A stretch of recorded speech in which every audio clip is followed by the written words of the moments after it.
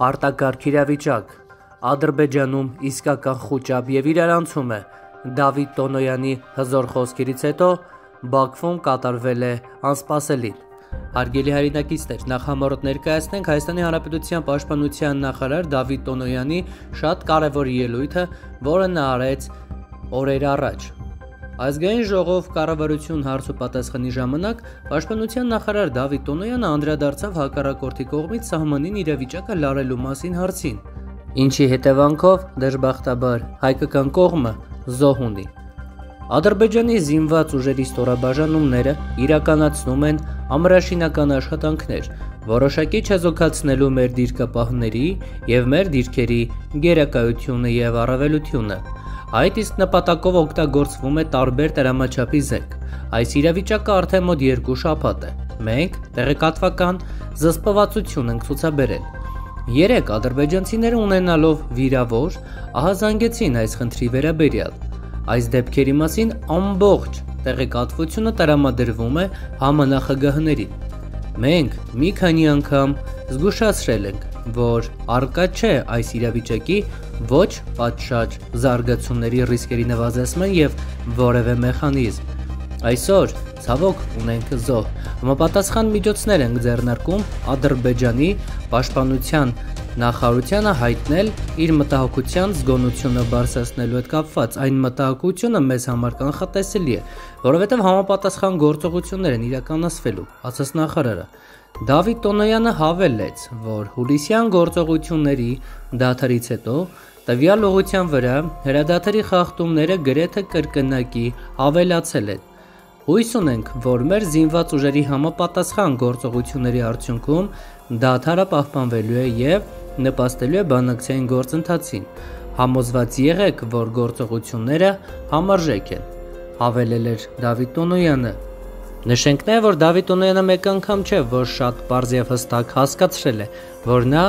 որևէցե մի վարքյան անգամ չի հապաղի, որpիսի իրականացնի շատ խիստ պատժիչ գործողություններ,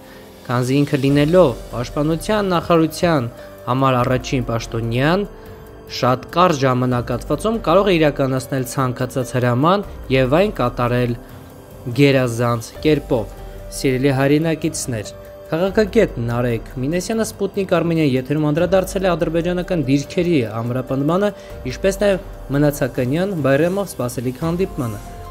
Քաղաքագետ Մինեսյանի դիտարկմամբ, ինչպես նախկինում, այնպես էլ այժմ ցանկացած հանդիպումից առաջ կողմերը խնդիր ունեն հնարավորինս ամրապնդել իրենց դիրքերը։ Եվ եթե դիտարկենք միջնաժամկետ կտրվածքով վերջին իրադարձությունները, ապա կարելի է միանշանակ պնդել, որ առաջիկա հանդիպմանը հայկական կողմը մասնակցել է շատ ավելի ամուր դիրքերից։ Պոլիսին Ադրբեջանի կողմից նախաձեռնված էսկալացիայի տապալման շնորհիվ, որովհետև հայկական կողմը բավականին հաջողությամբ չեզոքացրեց հակառակորդի սադրանքը, արձանագրելով նաև հստակ հաջողություններ։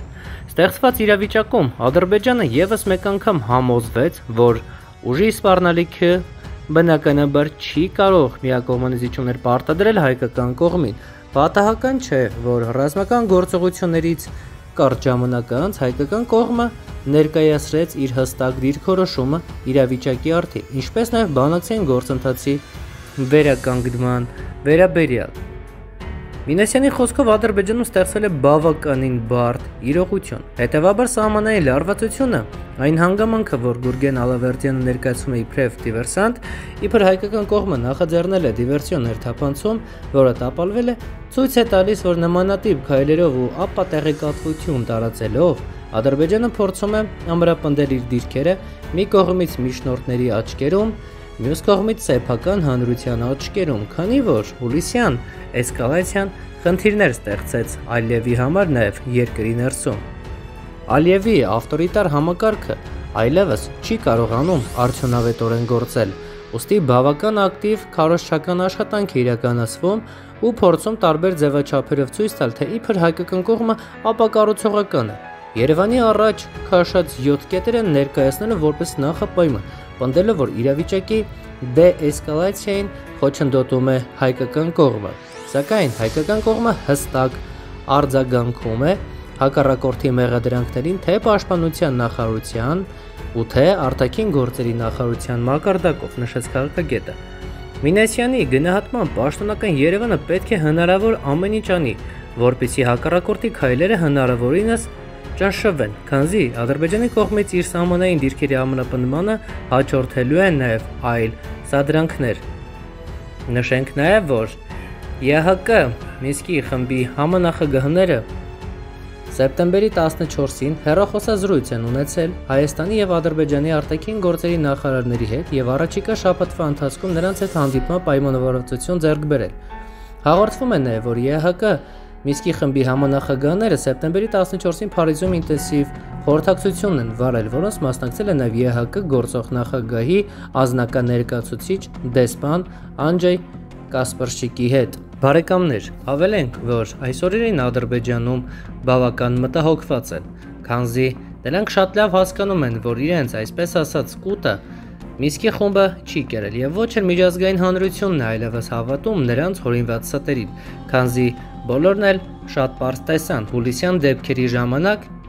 ինչպես իրեն դրսևորեց Ադրբեջանը եւ ինչպես իրեն դրսևորեց Հայաստանը։ Նրանք օրնի բուն հոխորտում էին, թե իբրև Արցախը իրենց տարածքներն է եւ նրանք պայքարելու են այդ տարածքների այսպես կոչված ազատության ազատագրման համար։ Սակայն հուլիսյան դեպքերը ցույց տվեցին մեկ այլ բան, որ նրանք բոլորովին էլ չեն մտածում զուտ Արցախի, այլ նրանց ուզածը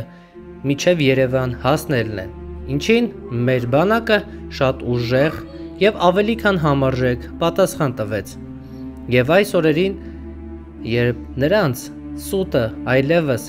չի կարողանում ուտվել, ինչպես որ կերվել է նախկինում, դա ստիպում է Ալիևին ու նրա իշխանությանը, որպեսի վերջիներս բավականին նեղվեն եւ փորձեն այնպես անել, որ գոնե ինչ որ չափով իրենց սեփական ժողովրդի արչև դուրս գան པարզ երեսով, սակայն դա նույնպես նրանց մոտ չի ստացվում, քանզի պատասխանը մշտապես լինում է ավելի քան արժանի եւ ավելի քան համարժեք։ Սիրելի հայրենակիցներ, նշենք, որ սեպտեմբերի 21-ին ռազմական օթաչուները կիրականացնեն թռիչներ Հայաստանի Հանրապետության անկախության 29-րդ տարեդարձի Արդիվ սեպտեմբերի 21-ին Հայաստանի Հանրապետության զինված ուժերի փորձառու ռազմական օթաչուները թռիչքներ կիրականացնեն Երևանի օթային տարածքում։ Հայաստանի Հանրապետության զինված ուժերի ինքնաթիռների անցումները հնարավոր կլինի դիտել ժամը 11:00-ից։ Շնորհավոր անկախության տոնը ու փառք մեր հայոց բանակին։ Շնորհակալություն։